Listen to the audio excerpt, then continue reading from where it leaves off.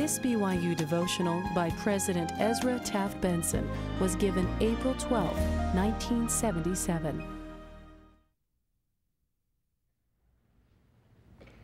My beloved brethren and sisters, humbly and gratefully I stand before you this morning and seek an interest in your faith and prayers that the message that I have may be accompanied by the Spirit. It's a wonderful sight that I view here this morning. It's good to be with you, my beloved young friends, distinguished members of the faculty, special guests. My wife and I have just returned from a glorious weekend at St. George, where I had the privilege of addressing three overflow audiences, two in the largest auditorium they have at Dixie College, made up largely of young people, and one on the fourth floor, a solemn assembly in the temple. We were honoring the centennial of the dedication of the St. George Temple, the first one to be erected in the western part of the country. We are still basking in the aftermath of another great general conference of the church. Never in my memory have we had more explicit warnings from prophets of God, and nowhere in the world are there men better prepared or more obligated to issue such warnings. Today I want to discuss some principles and laws of the celestial kingdom and some of the fallacies of their perverted counterfeits in the world. I share with you a vision of your eternal possibilities. The celestial kingdom, residence of God, our eternal Father, is comprised of men and women who have complied with divine law and were not deceived by the craftiness of men nor the doctrines of devils. They are just men made perfect through the mediation and atonement of Jesus Christ. They are obedient to celestial law. For as the Lord has said, he who is not able to abide the law of the celestial kingdom cannot abide a celestial glory. Celestial laws embodied in certain ordinances belonging to the Church of Jesus Christ are complied with by voluntary covenant. The laws are spiritual. Thus, our Father in heaven has ordained certain holy sanctuaries called temples for these laws to be fully explained. They are taught to those who have complied with the basic principles of the gospel of Christ. Briefly explained, the laws included and do include the law of obedience and sacrifice, the law of the gospel, the law of chastity, and the law of consecration. I want to speak more particularly this morning about this one law, the law of consecration. It is that one's time, talent, strength, property, and money are given up to the Lord for the express purpose of building up the kingdom of God and establishing Zion on the earth. Or as we read in the 105th section of the Doctrine and Covenants, Zion cannot be built up unless it is by the principles of the laws on the celestial kingdom. Much has been written about the law and its attempted implementations in the early history of the church.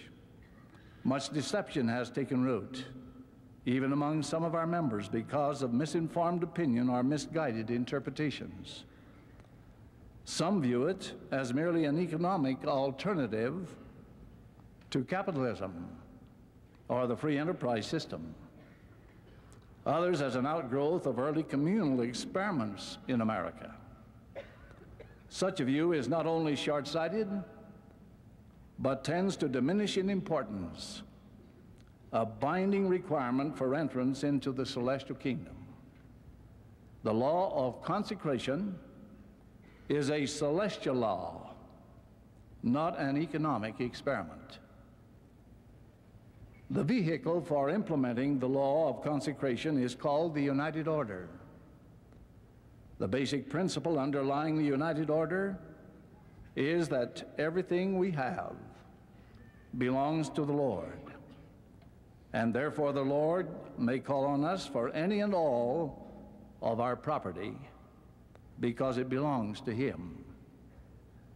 The United Order is entered by a covenant and deed which cannot be broken according to the Scriptures. In other words, an individual conveys title to all his property to the church through the bishop. The property becomes the property of the church. You read about it in the 42nd section of the Doctrine and Covenants. The bishop then deeds back to the consecrator by legal instrument the amount of personal property required by the individual for the support of himself and his family. And as the Lord declares, quote, according to his circumstances and his wants and needs. This becomes the private, personal property of the individual to develop as he sees fit. It is his stewardship. When an individual produces a profit or surplus more than is needful for the support of himself and his family, the surplus is then placed in the bishop's storehouse to administer to the poor and the needy. Under the United Order, idleness has no place. Greed, selfishness, and covetousness are condemned. The United Order may therefore operate with only a righteous people. It has been erroneously concluded by some that the United Order is both communal and communistic in theory and practice because the revelations speak of equality. Equality under the United Order is not economic and social leveling as advocated by some today. Equality, as described by the Lord, is equality according to his family, according to his circumstances, his wants and needs. In other words, it is not uniformity, sameness, in number or quality. Rather, it is an equality where each man will have sufficient according to the size of his family, his circumstances, his wants and needs. Is the United Order a communal system? Emphatically not. It never has been and never will be. It is intensely individualistic. Does the United Order eliminate private ownership of property? No. The fundamental principle of this system is the private ownership of property. Two separate groups of saints have fully implement, implemented this divine law. The first was the United Order under Enoch wherein the Lord designated this people Zion, because they are, were of one heart and one mind, and dwelt in righteousness. And there was no poor, there was no poor among them. You read of this in the seventh chapter of Moses in the Pearl of Great Price. A second instance was the Nephite civilization following the visit of the Savior to the Western Hemisphere after his resurrection. This is recorded in 4th Nephi, the 14th chapter particularly. The failure of the early saints in this dispensation to live according to the fullness of the law is explained by the Lord in Revelation, Doctrine and Covenants, sections 101 and 105. I repeat and emphasize the law of consecration is a law for the, an inheritance in the celestial kingdom. God, our eternal Father, His Son Jesus Christ, and all holy beings abide by this law. It is an eternal law. It is a revelation by God to His church in this dispensation. Though not in full operation today, it will be mandatory for all saints to live the law in its fullness to receive celestial inheritance. You young people, today abide a portion of this higher law as you tithe, pay a generous fast offering, go on missions, and make other contributions of money, service, and time. But whenever the God of heaven establishes by revelation his design, Satan always comes among men to pervert the doctrine, saying, Believe it not. He often establishes a counterfeit system designed to deceive the children of men. His aim, as it was before the foundation of this earth, before the foundation was laid, is to thwart the agency of man and to su subjugate him. Throughout all ages of mankind, the adversary has used human agents and despotic governments to establish his purpose. Satan is determined to destroy all that is dear, all that will ennoble and exalt man to the celestial kingdom.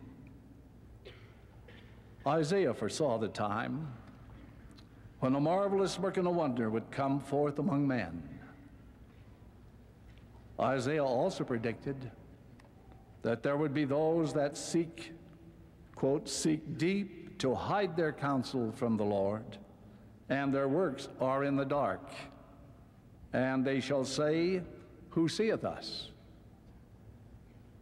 He say, He saw the time when the work, man, shall say of him that made it, He made me not, denying their creation.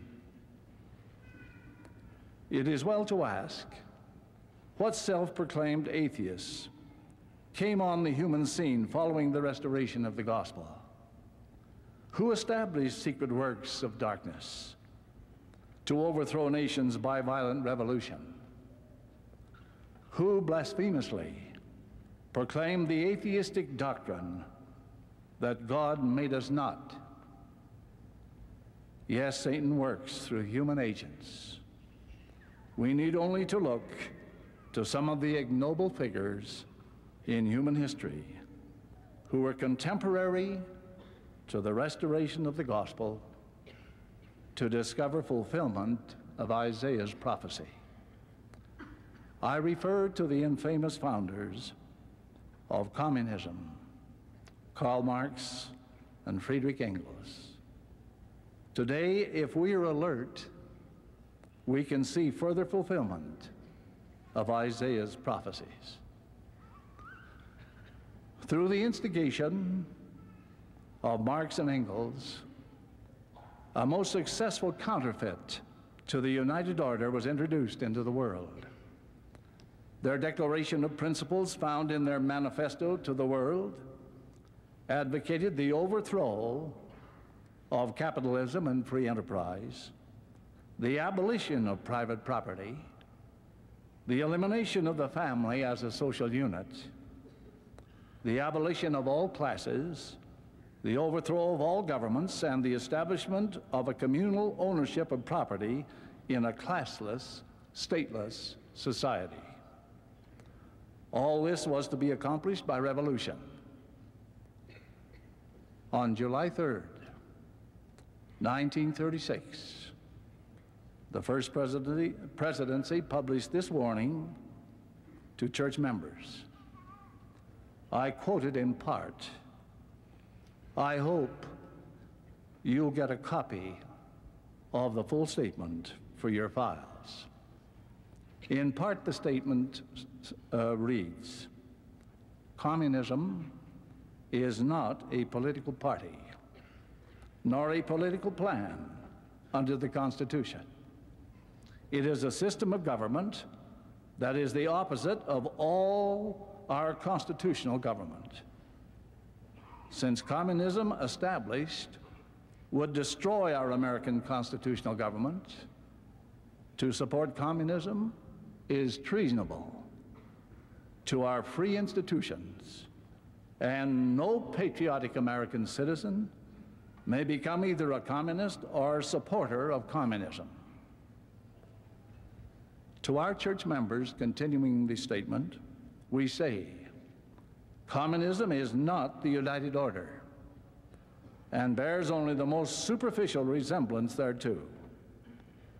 Communism is based upon intolerance and force. The United Order upon love and freedom of conscience and action. Communists cannot establish the United Order, nor will communism, communism bring it about. Communism being thus hostile to local American citizenship and incompatible with a true church membership of necessity, no loyal American citizen and no faithful church member can be a communist. We call upon all church members completely to eschew, shun communism. The safety of our divinely inspired constitutional government and the welfare of our church imperatively demand that communism shall have no place in America. Signed, President Heber J. Grant, J. Reuben Clark Jr., and David O. McKay, the First Presidency. You students have only to read some of the speeches and writings of the exiled Russian, Alexander Solzhenitsyn, to appreciate this far-sighted warning of the First Presidency. I have been on both sides of the Iron Curtain several times. I have talked to these godless leaders face to face. I say to you with all the sincerity of my soul that since 1933, this godless counterfeit to the gospel has made tremendous progress towards its objective of world domination, where over one third of the human family are now under totalitarian subjugation. Today, we are in a battle for the bodies and souls of man. It is a battle between two opposite systems freedom and slavery, Christ and Antichrist. The struggle today is more momentous than a decade ago. Yet today, the conventional wisdom, so called, you have got to learn to live with communism to give up your ideas about national sovereignty. You hear that repeated today. Tell that to the millions, yes, the scores of millions who have met death or imprisonment under tyranny, under the tyranny of communism. Learn to live with communism? Such would be the death knell of freedom and all we hold dear the gospel of Jesus Christ can prosper only in an atmosphere of freedom. As members of this church, we have a major responsibility to do all in our power to see that freedom is preserved and safeguarded. I pray that God will bless you to see communism for what it really is the greatest system of human slavery that the world has ever known. May you not be deceived into believing that the communists have, moder have moderated their goal toward world domination. Domination. I say to you that so-called détente is a fraud. Time will prove it to be such. There is no, no excuse for any BYU instructor to grant a forum to an avowed communist for the purpose of teaching communism on the campus. It may be done on other campuses in the United States, but it will not, not be done here. Another notable counterfeit system to the Lord's plan is collectivized socialism. Socialism derives its philosophy from the founders of communism, Marx and Engels. Communism in practice is socialism. Its purpose is world socialism, which the communists seek to achieve by revolution, and which the socialists seek to achieve by evolution. Both communism and socialism have the same effect upon the individual a loss of personal liberty. As said so well by President J. Reuben Clark, the two are as two peas in a pod in their ultimate effect upon our liberties. Why is socialism incompatible with man's liberty? Socialism cannot work except through an all powerful state. The state has to be supreme in everything when individuals begin to assert their God given rights, the state has to suppress that freedom. So belief in God must be suppressed. And with that gone, freedom of conscience and religion must also go. Those are the first of our liberties mentioned in the Bill of Rights. There are some among us who would confuse the United Order with socialism. That is a serious misunderstanding. It is significant to me that the prophet Joseph Smith, after attending lectures on socialism in his day, made this official entry in the church history, quote, I said I did not believe the doctrine, unquote. As citizens of this noble land, we have marched a long way down the soul-destroying road of socialism. If you question that statement, consider the recent testimonial from the Nobel Prize-winning economist Milton Friedman.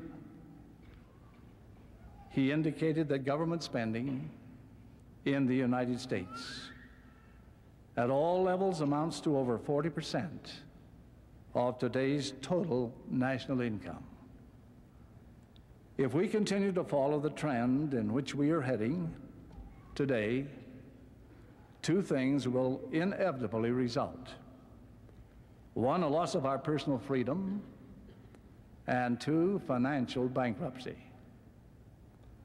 This is the price we pay when we turn away from God and the principles which He has taught and turn to government to do everything for us.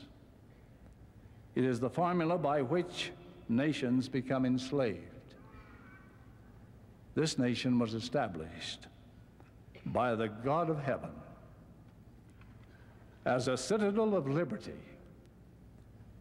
A constitution guaranteeing those liberties was designed under the superintending influence of heaven. I have recounted here before what took place in the St. George Temple. When the founding fathers of this nation visited President Wilford Woodruff, who was then a member of the Twelve and not president, the republic which was established was the most nearly perfect system which could have been devised to lead men towards celestial principles. We may uh, liken our system to the law of Moses, which leads man to the higher law of Christ. 200 years later, we must sadly observe that we have significantly departed from the principles established by the founders of our country.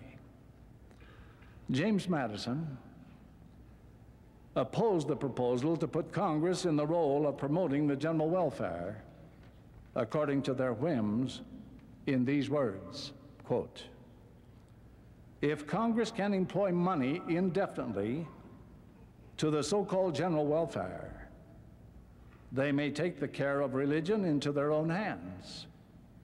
They may appoint teachers in every state, county, and parish and pay them out of their public treasure.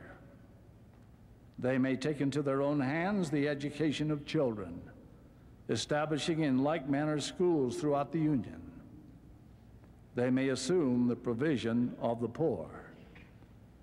Were the power of Congress to be established, were the power of Congress to be established in the latitude contended for, and it was an issue then, it would subvert the very foundations and transmute the very nature of the limited government established by the people of America. Unquote.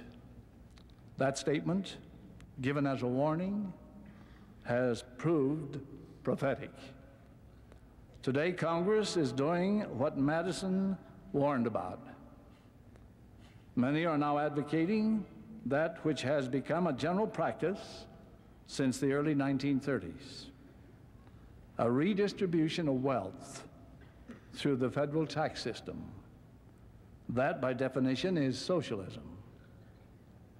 Americans have always been committed to taking care of the poor, aged, and unemployed.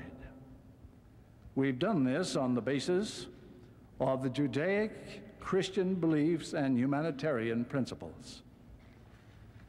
It has been fundamental to our way of life that charity must be voluntary if it is to be charity. Compel, compulsory benevolence is not charity. Today's socialists, who call themselves egalitarians, are using the federal government to redistribute wealth in our society, not as a matter of voluntary charity, but as a so-called matter of right. One HEW official said recently, quote, in this country, welfare is no longer charity, it is a right. More and more Americans feel that their government owes them something, unquote. President Grover Cleveland said it, and we believe it as a people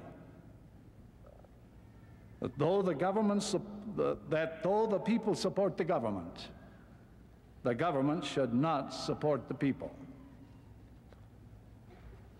The chief weapon used by the federal government to achieve this equality, so-called, is through so-called transfer payments.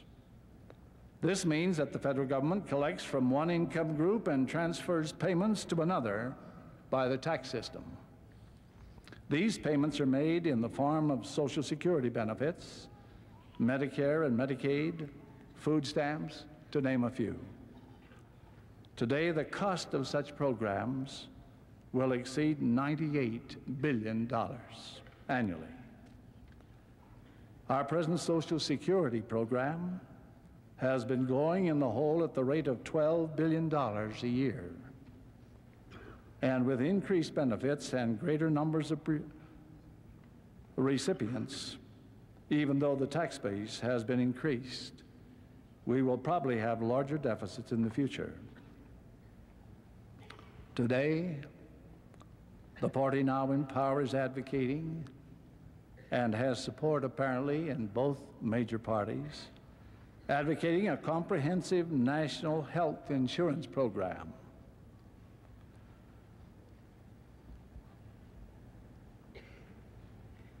a euphemism for socialized medicine. Our major danger is that we are currently and have been for 40 years transferring responsibility from the individual, local, and state governments to the federal government.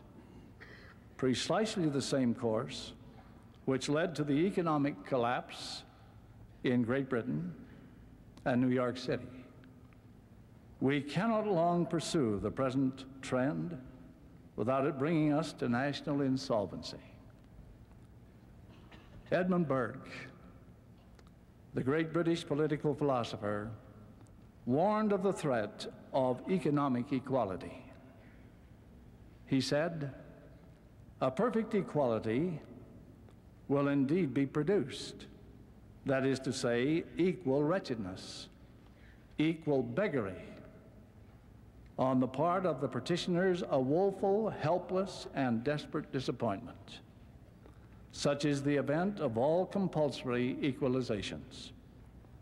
They pull down what is above, they never raise what is below, and they depress high and low together beneath the level of what was originally the lowest.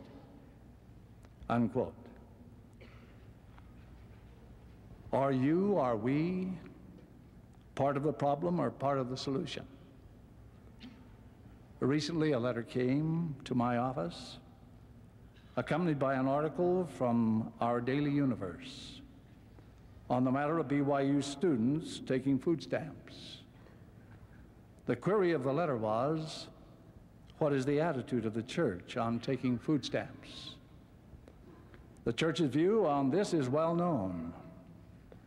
We stand for independence, thrift, and abolishing the dole. This was emphasized in the Saturday morning priesthood meeting or the Saturday morning welfare meeting of General Conference. The aim of the church is to help people to help themselves. Work is to be re-enthroned as the ruling principle of the lives of our church membership.